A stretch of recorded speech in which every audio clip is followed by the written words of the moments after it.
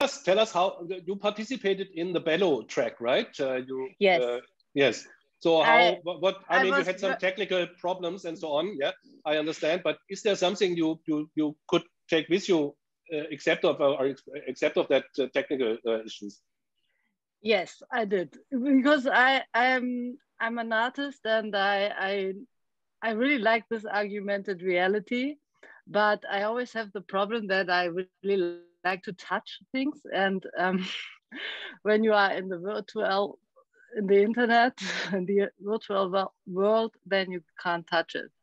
And um, i think it would be funny to like see something and touch something different.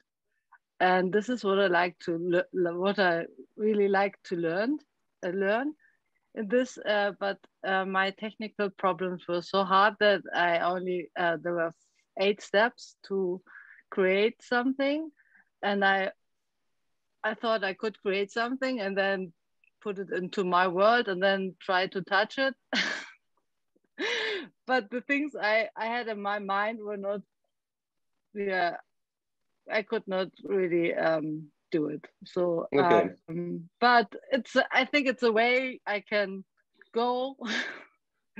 And i did step one yeah, um, actually, Julia, um, it, it's interesting because you know when we speak about code, then we are we are speaking about like material.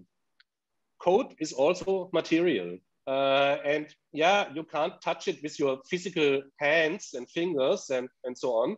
But actually, uh, it's it's you know like material in a way that it gives something back. There is a feedback you get. Uh, sometimes it's an error. It's the feedback Sometimes it's something you have expected, uh, and that is the feedback. But most of the time, the interesting things are when the feedback is something you have not expected, you know, which are surprising, which are actually errors, happy errors, or something like that. Yeah. So, so therefore, I think um, uh, my suggestion would be view it as a material. Yeah. So it's it's nothing immaterial. It, it is yeah. It's behind the screen most of the time, uh, but it, it has the same um, features like material has. Yeah? And then the other thing I just can tell you is, I mean, uh, there is robotic, there is uh, all this maker movement, as you possibly know. Um, you can, you know, attach uh, like actuators, like motors or something, yeah. Um, and then it becomes even more funny, uh, obviously. Yeah. So uh, therefore, you can bring it back to the material world if you want. Yeah, sure. Um, so anyone else uh, I can invite to give some impressions on the sessions uh, before or just uh, throw in a topic uh, which we should uh, touch uh, on. Um, Michael, you also, were, yeah, good that you raise your hand. Um, wait, can yeah. I? oh, great, it works. Okay, good. I just want to say, I was also at Bello's workshop, workshop and um, I just want to say Bello has done a terrific job. Um, it, it, was an amazing, um, amazing, amazing uh, didactical sequence of, of uh, showing uh, Colab. Um, and I think Colab is a, is a, is a wonderful tool uh, to discover uh, AI with a bit more, with a bit of coding. Um, what we what we saw during the workshop is, and that I tweeted about, uh, is that um, half of machine learning is fixing uh, Google Drive path errors. So um, you you exchange if if you if you take a tool like Colab or or some other tools, you exchange some complexity with some other complexity. So now you have to figure out why Google Drive has this super weird path stuff where you even if you know how to copy files on your computer, you, you don't know how to copy files to Google Drive because it's so weird, it's so different. Um, but it was so much fun. And um, I think, uh, yeah, um, again, to Bello, thanks a lot uh, for this amazing uh, tutorial. And I think uh, next time, make it four hours. It would, wouldn't be boring uh, in four hours with a break in between, maybe. And then we we achieve all the stuff and and even more. Then, Yeah, as always, we have been too ambitious, uh, but you know, I, I prefer to be a little bit over ambitious than uh, too, too low, to, to fly too low. Uh, but you're absolutely right. Um, there is a lot of things which have nothing to do with AI or so. It's just to integrate things, right? To uh, uh, and uh, but I mean, the nice thing is once you have done it, um, you you have it yeah so you can build on that uh, so this was definitely a little bit too over ambitious i also was following you guys uh, for some time and i also thought well one of the takeaways for me is we need more time or uh, or a little bit less uh, or a little bit preparation. Yeah so that all these um, things are prepared already. Yeah so that, that's a learning for us as well. As i said i mean this is a test for us also because we intend to to do this type of kitchen show kitchen um, in the in autumn uh, frequently. Uh, as I said, please uh, register to on our web, on our website, um, and then we will inform you for more of these things to come. the idea behind is to just explain it to everyone else. Um, the, the idea is a little bit with cooking. Yeah, so there is um, people who say, "Ooh, I, I, I, I'm not able to cook. Yeah, uh, the, the, the only thing I can do is uh, open the pizza box and put it in the in the oven."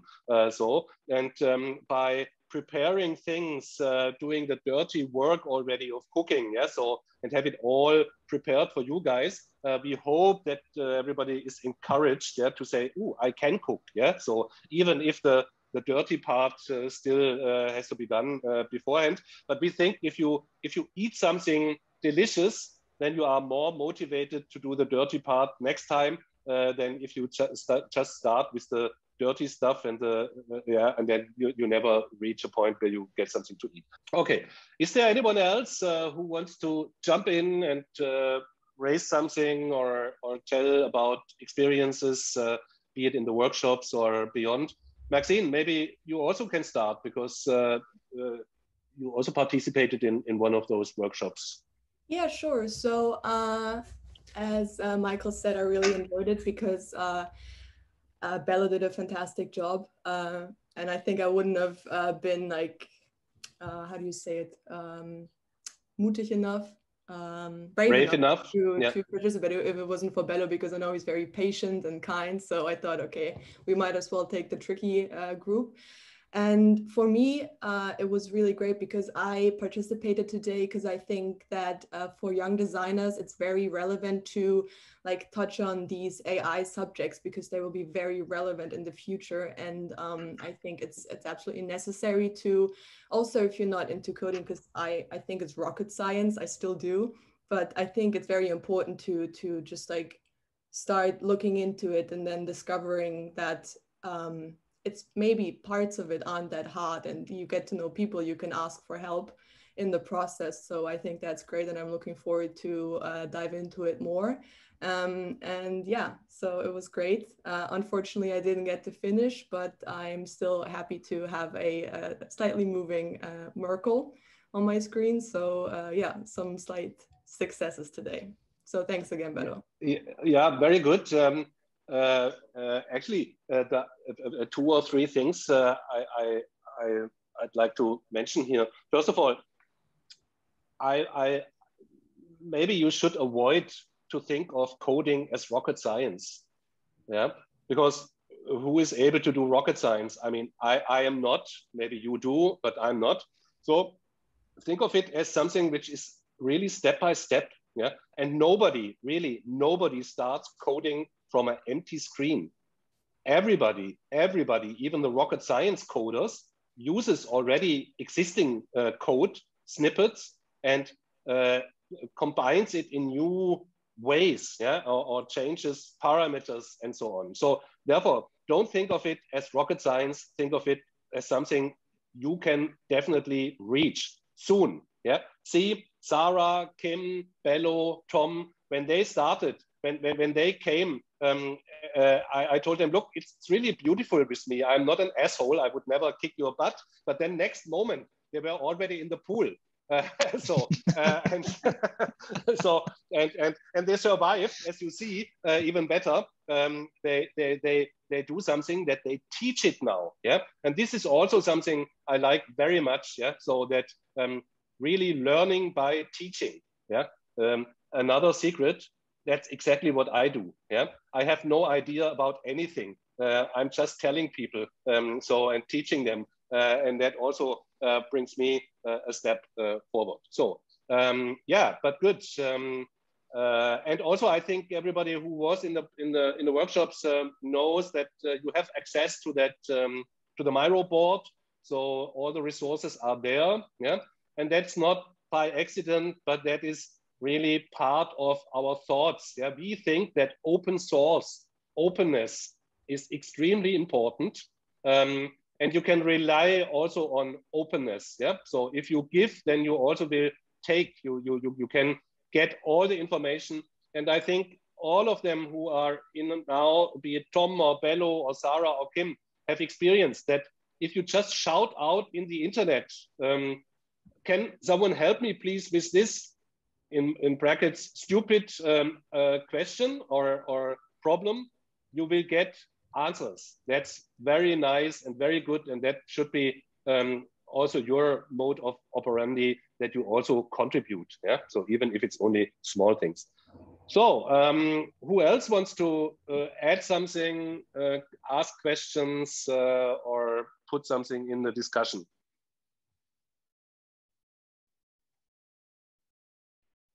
I think we have some 20 minutes left. Um, so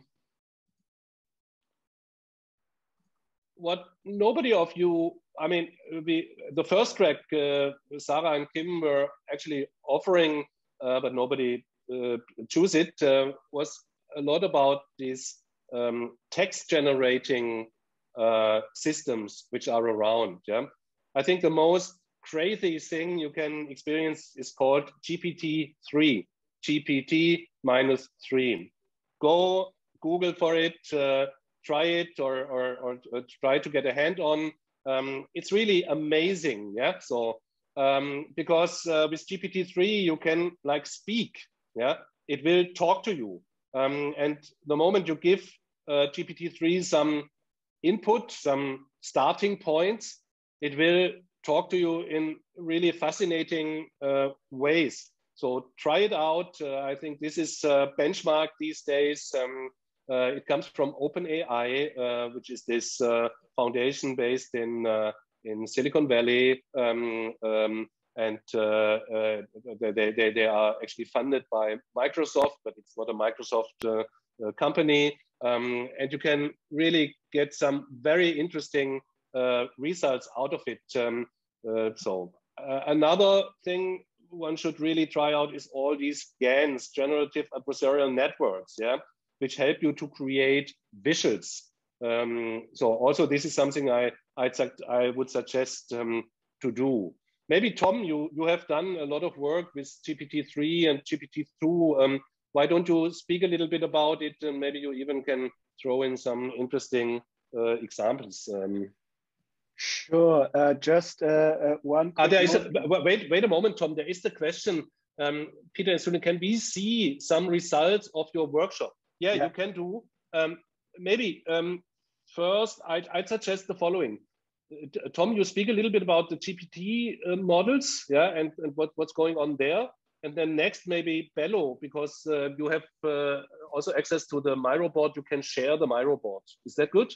Okay, great yeah, maybe real quick, uh, GPT-2, we, so I think it was in the beginning of our research project that it just popped up and it was really fascinating how good it worked and how good it is at like really basic sentence completion and text generation. So in our um, speakers uh, uh, thing that we had going on, we always created little intros where GPT-3 was introducing the people.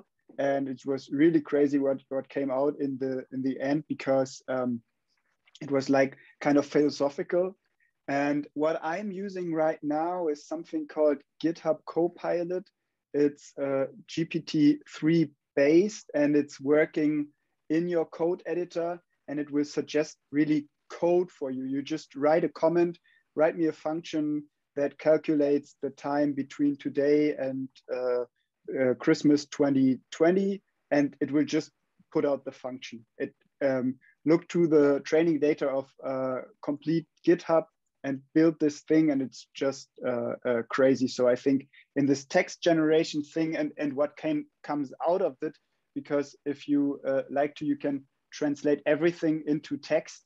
Um, yeah, you, the, the, the uh, possibilities are really endless there with GPT-2 and GPT-3. Yeah, um, I'm just looking for the URL. I will post it in a in a second. Uh, we have a very interesting, uh, uh, very interesting master uh, thesis uh, which will be presented next week. But the website is already online. Uh, it's from a student of mine making omelette with AI.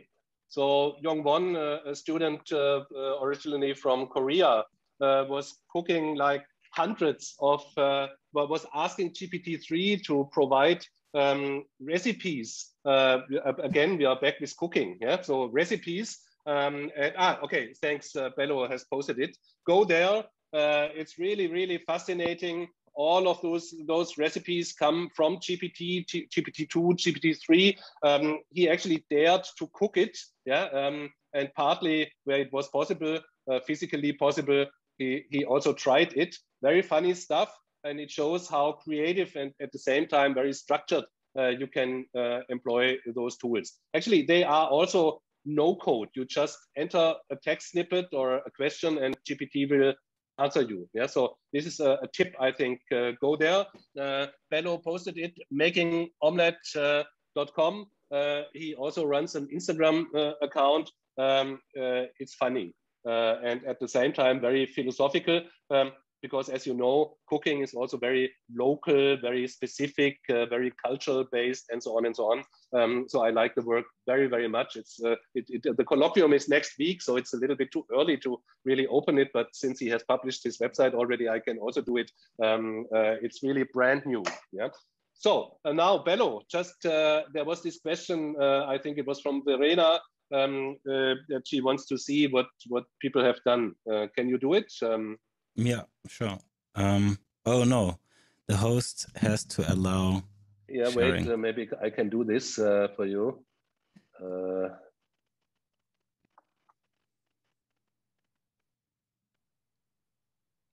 well,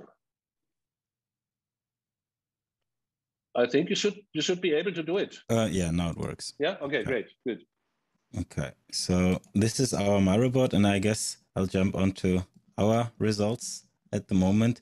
Um, unfortunately, we had not enough time, but three people uh, at least succeeded in creating 3D models out of 2D images, and they were in the process of rigging them or animating them. For most of the uh, the problems were time or internet connection, and yeah, so there you see background removal and also 3D creation out of this. The next step would have been to uh, apply textures on top of that so that it would have looked something like this. But again, we didn't have enough time. But, Bello, uh, because I think Verena was not part of the workshop, so maybe it would be a good idea to um, just tell a little bit what was the goal, what was the steps. It's also interesting because it it, it comes back to that chaining um, mm-hmm. various steps uh, in a daisy chain. Uh, please show that. Yes. So the idea was to you start off with a an image, um, remove the background with an AI model, input the output of the like the removed image, uh, the the image with the background removed into a different algorithm that would create out of it a 3D model. This output we then input into Mixamo, which also has a, well, not AI, but it is kind of automatic. So there's some machine learning behind it uh, that automatically rigs the, the model, the mesh. And once this is done, we have an animated mesh where we can, in Blender, manually, this is a manual step, uh, give the textures. And with this model, this is another manual step, we are able to um, put our models together and animate them. Maybe one example would be better to show as a video instead. Uh, I think this was why people joined my uh, my workshop because I put myself with Merkel, Angela Merkel, in a fighting scene. Um, and basically, most of the, the participants in the, the workshop are now know how to do this more or less. And yeah, that's what we basically did. So they are almost, as you see, this is Maxi's example, almost there. And she just had some errors that which we would have fixed if we had more time. And the same goes for Michael as well. Good. Uh, uh, Tom, uh, uh yeah, uh, please uh, also show some of the world, or yeah, maybe you can uh, Bello just shares and, and oh, yeah, yeah, yeah, yeah, no, yeah. I was okay, great. You, you can see my yes, we do. Okay, so we did um, something um, that we wanted to implement into Zoom directly, the Zoom Background 3000. And it could do stuff like uh, this or like this. So you can implement that into your uh, Zoom. And it was really easy. So we used this thing called Teachable Machine. You can see it right here we captured three different classes. One is empty, it's just nothing. We did like, I think if I roll out, it's empty, empty, empty. But if I do something like this, then applause comes. And if I do this, whoop, whoop, then a party comes up. And this is then implemented into our program here. This is uh, uh, written in P5.js and ML5.js. And it's yeah, it's a little bit of code, but basically what we are doing, we are just loading the images and loading our classifier. And then if the classifier says party, then we output the party image over our thing. And if we say applause, um, it uh, uh, puts in this. And I also put in this empty iPhone screen if it's empty. I had a cook, cooking head as well, but yeah, you can uh, uh, you can uh, try out different things there. And with the help of OBS, we did not do that because it's a little bit too technical and it's quite boring. But I put the um, the tutorial on the um, on the Miro board. Then you can just use it as a camera right here. Um, I tried it uh, this morning and it didn't work because you all also need to retrain the model. And now it's going crazy because I'm doing stuff that I didn't train on. And really fun and um, also a little bit of this chaining logic of teachable machine which is really really cool and really easy to to use um, with a little bit of code. And then in the end um, obs would be the end. And if you like i can also show you some stuff don't know why half of it is gone now i see it on my screen i think it's yeah, yeah. I, I reloaded the page so you see some of our participants doing stuff. Um, Kim had some problems with her camera, so she put in this uh, sad cloud. And yeah, we have uh, a lot of stuff going on here. Here it's just saying awesome. And me and uh, Sarah. And yeah, really cool, uh, small workshop and um, was really fun working with you. Great. Is is someone from the participants in that workshop uh, still in the call and would be uh, willing to tell a little bit about the experience? Um,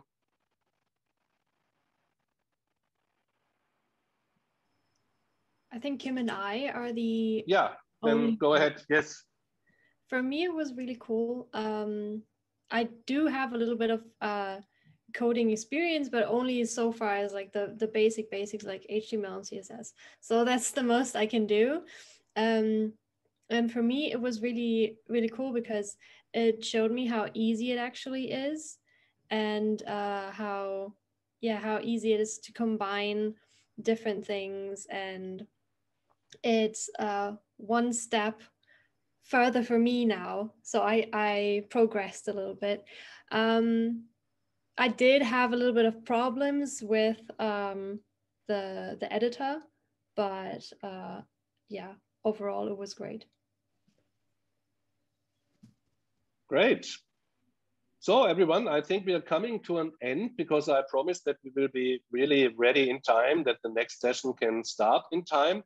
Um, yes, this was about artificial intelligence. No, we did not uh, speak about um, the end of the world, the end of creativity. Um, we did not speak about uh, self-driving cars killing uh, innocent uh, grandmothers in the streets. Um, we were not uh, thinking of all this um, stuff we uh, usually hear if we are talking about AI. We were speaking about daisy chaining um, little tools uh, and uh, being still in control of everything of the world, of AI and all of this. Uh, it did not take over us. We took, took over it. Uh, and that is exactly what I wanted uh, uh, to be um, the takeaway for you guys. So um, please don't hesitate to contact us because we are out there. Our mission is with Creative Kitchen to bring uh, creative use of AI to as many as possible people in the world um, of creativity. Um, we are part of this open sharing, so we, we, we don't uh, keep things secrets at all. Um, that's not what we what we do. Um, and I hope that you had some fun and uh, interesting insights. Uh, and with that, I'm happy to close this session. And uh, as I said, please contact us uh, if you have any question or further uh, whatever. Yeah, thank you very much for the three hours you um, took with us. And now, Sarah, please go ahead. yeah, thank you so much, everyone. That was uh, quite the interesting digestion. And uh, I'm so happy that we had the opportunity to uh, host this workshop as well in the frame of SAAI. So I can't wait what's happening next with the workshop series. And it's going to be very interesting to see what you guys uh, come up with next. And I think a lot of people had fun. There's a lot of comments in the chat about how great it was. So thank you so much for that. Thank you. Thank you very much, Peter, Kabel, and your team. Thank you very much for that workshop. Um, I hope that all the participants that went into that workshop uh, with a slight idea of a project got some uh, help for starting off with their ideas. And um, uh, I'm hoping that it also would help you to find your teammates for the project that you're working on. Um, and if you want to get more input, please stay in line with the next workshops. They are also focusing on GPT-2 and GPT-3. Uh, they are uh, doing music uh, generation with that. And we will also have some use cases later on with uh, GPT-3 as a, as a dialogue and, um, well, a, a, more philosophical maybe approach to uh, AI. And finally, the panel uh, with the possibility to have some broader questions on this topic. So thank you very much. Um, please feel free to uh, ask any questions uh, to whom you can get hold on. And if you have questions, also visit GatherTown at the concluding, after the concluding panel. Um, if you have any questions, you can also write to Sarah or myself or uh, whoever. So um, thank you very much for joining and thank you very much for preparing that workshop. Thank you.